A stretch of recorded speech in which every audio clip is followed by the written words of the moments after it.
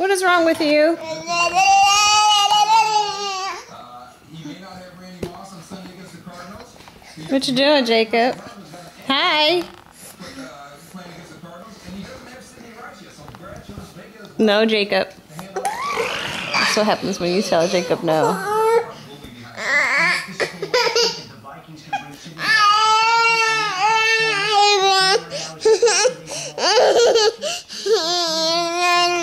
the Jacob. 20.